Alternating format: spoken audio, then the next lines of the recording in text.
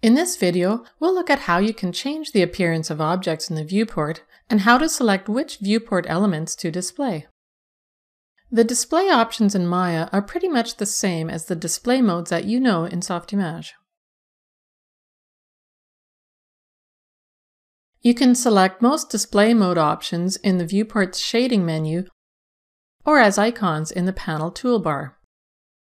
As in Softimage, these display options are set per viewport so that even with the same camera selected in multiple viewports, you can have different display modes for each one. If you want more viewport real estate, you can press Ctrl plus Shift plus M to toggle the display of the panel toolbar at the top of the viewport. To see a bounding box representation of the objects, select Shading Bounding Box. You can choose Wireframe from the Shading menu or click the wireframe icon or press 4 for a standard wireframe view. In our scene, the color of the object's wireframes are taken from the layers in which they're stored. If you want smoother lines for the wireframe, choose Shading Smooth Wireframe, whose effects may be more noticeable when you're using the legacy renderers. If you want to change the default line width, Open the Preferences window, click Display, and drag the line width slider.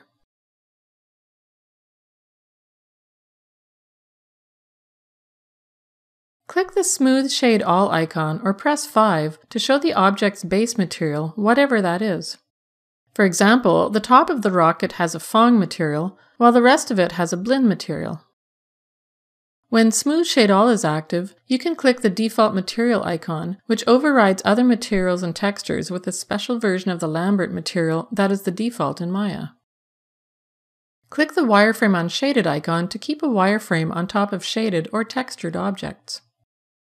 Click the Textured icon or press 6 to show the texture on top of the base material that you get with the Smooth Shade All option. If you don't see the texture, make sure to turn off the default material, which overrides the texture. Click the light icon or press 7 to show the effects of all lights you have created, excluding the default scene light. If the lights are on, click the shadow icon to display shadows for objects. You can also select default lighting and all lights from the lighting menu as well as displaying the effect of only selected lights or no lights at all. The flat lighting option uses an ambient light that gives an effect that's similar to the texture decal mode in Softimage if textures are on. If shading is on, the effect is similar to the constant display mode. And if wireframe on shaded is also on, you can create an effect that's similar to hidden line display mode in Softimage. If you don't want to see the object material's color, just select the default material option. The X-ray mode in Maya is similar to its counterpart in Softimage, except that it displays only in transparent mode, and not with the screen and overlay display modes as you have in Softimage. However, in Maya, you can choose which scene elements are affected by the X-ray mode. You can use X-ray for all objects in the scene, use X-ray for only the selected components on an object, or use X-ray for only skinned or enveloped skeletons. Once you have set up a viewport as you like, you can choose Shading Apply Current to All to copy the shading settings from this viewport to all other viewports. The way that objects are displayed in your scene depends a lot on the viewport renderer. There are three viewport renderers in Maya that you can select from the renderer menu. You may want to use either of the legacy renders if you want faster viewport interaction and render quality doesn't matter as much. But the default renderer in Maya 2015 is Viewport 2.0. This renderer is like the high quality display mode in Softimage, giving you as close to a final rendered look as possible, and with good performance. It can display a lot of scene elements with detail that the other two renderers don't display as well, such as particles, nParticles, paint effects, Toon, and cloth, nHair and fluids. You can use these icons to display effects that are visible only with the Viewport 2.0 renderer, such as ambient occlusion, motion blur,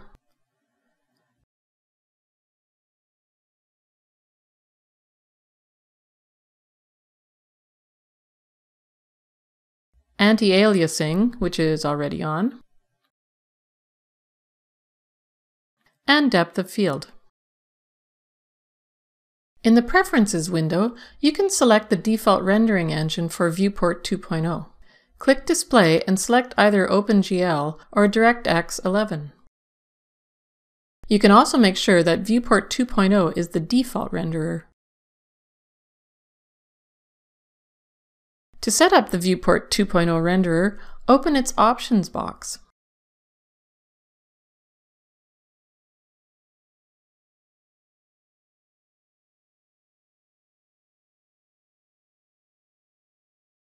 There are plenty of options, so you should read the documentation for a good idea of what to set and how to optimize it. You can also watch the video Autodesk Maya 2015 Viewport 2.0 on the Autodesk YouTube channel for more information on this renderer. In addition to how objects are displayed, you can decide which viewport elements to display. You can set the defaults for these elements in the Preferences window on the display page. The View axis, the Origin axis, the grid, and the background gradient. You can press Alt plus B to quickly toggle among the gradient and the three default background colors. You can change their colors in the Color Settings window. In the 3D Views section, you can set the current background color, or the background gradient top and bottom colors.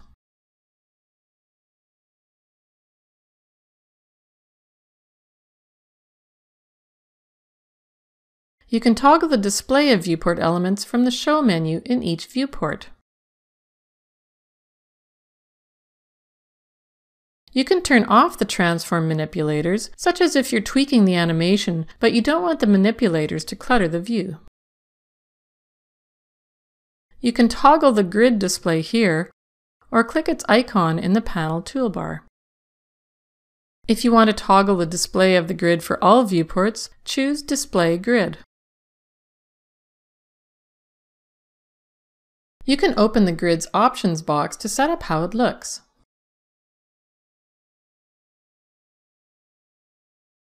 Make sure to click Apply to see the changes.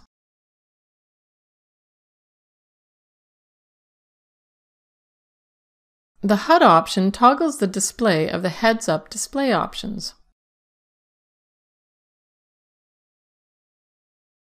Which are similar to the stats options in the Camera Visibility Property Editor in Softimage. You can select which options to include in the HUD from the Display Heads-Up Display menu, such as object details, poly count, frame rate, current frame, and so on. Press Ctrl to keep this menu open as you select multiple options from it. In the Color Settings window, you can change the colors of the HUD text. To display more information in the HUD, there are several options in the Bonus Tools menu, including a little control UI for the HUD options.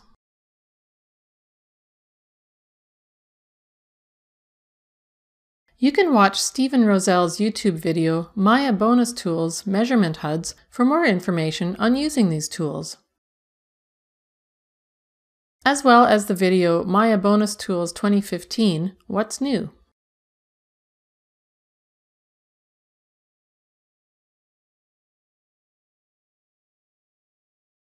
In the next video, we'll look at selecting objects and components in Maya.